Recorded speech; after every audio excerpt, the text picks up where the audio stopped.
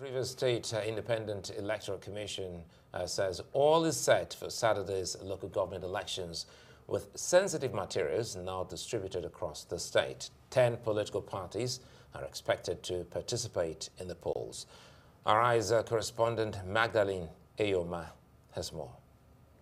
The chairman of the Cross River State Independent Electoral Commission, Dr. Ekong Boko, says 10 political parties are ready to participate in the upcoming local government elections. Dr. Boko also supervised the distribution of sensitive materials to all 18 council areas, addresses reports that the materials had already been sent out. The process of voting is the same process.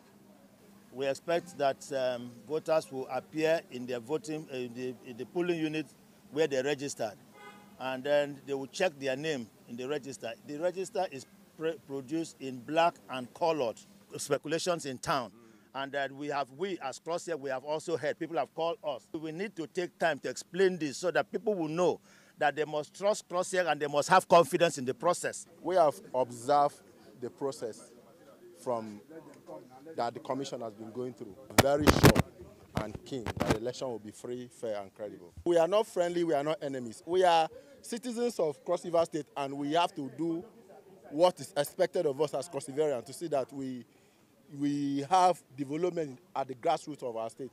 In a bid to promote a peaceful electoral process, the Commissioner of Police hosted a peace accord signing where political parties committed to maintaining order. However, the ruling party APC and the major opposition party were absent. We are going to elect our local locals that will represent us at the grassroots. We are not taking it for granted that it's just a local government elections. Whatever it is called, it is still very, very important. And what does it entail?